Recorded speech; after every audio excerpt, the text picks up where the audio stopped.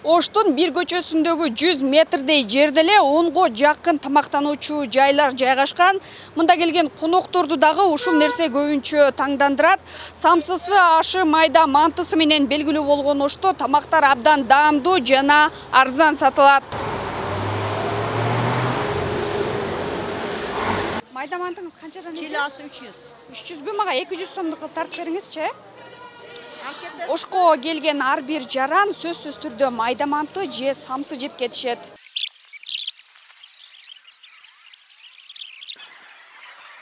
Мына ушул жерди ачык асман кафеси деп коет. Мында майда мантынын түрлөрүн жейсиз. Ал эми майда мантынын даамын сөз менен айтып жеткиргиз.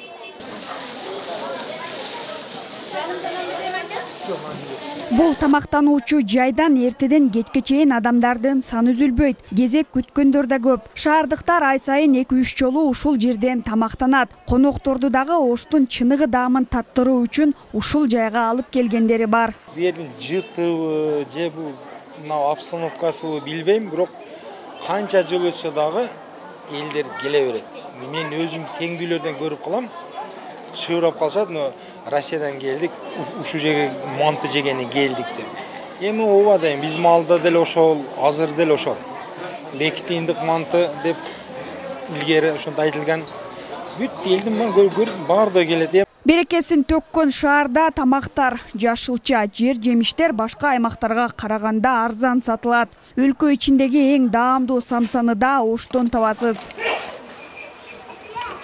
3022 жылдык тарыхы бар Ош шаарында кылымдар бою иштеп келген мына ушул темир базар сакталып калган. Мында темирден жасалуучу жүздөгөн буюмдар чыгарылат. Мына иштеген усталардын айтымында ата бабалары дагы ушул жерде иштеп, бул кесипти балдарына үйрөтүп келишкен.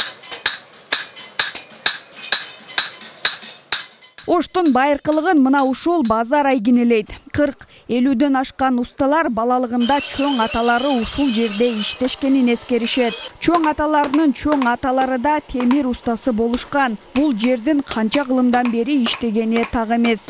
Ota hunar болады. темир усталардын баарына кесиби аталарынан өткөн башка адамдарды шакирт кылып алышпайт өз уулдарын гана тарбиялайт азыр мен да баламды даярдап жатам бул базардын иштегенине өтө көп болгон мен азыр бычак жасайм миң сомдон башталып алты миң сомго чейин сатылат zor.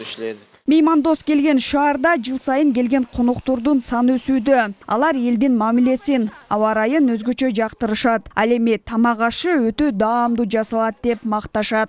Мен ошко экинчи жолу келип жатам мага бул жердин адамдары жаратылышы жана тамак аябай жакты бүгүн үй бүлөм менен базардан жактырганыбызды алып жүрөбүз ош туулган күнүң менен Мага бул шаардагы тамактар өзгөчө жакты. Биринен бири сонун экен. Чүч бара жана мантынын даамын сөз менен жеткире албайм. Очень интересно. Өтө кызыктуу шаар экен мен музейде сүрөт көргөзмөлөрүндө болдум жан дүйнөгө жага турган жерлер Доброжелательные люди, вкусная еда. Шаар түптөлүп мына ушундай деңгээлге жеткенге чейин оор кезеңдерге кыйын тагдырларга күбө болгон. Анткени менен жыл өткөн сайын өнүгүп, учурда туристтердин агымы күчөгөн. Сулайман Тоосу акбурасы менен белгилүү болгон Ош шаарынын ийгиликтери көп болсун. Зыягүл Болот кызы Азам Бузреков, бейтарап Ош шаары.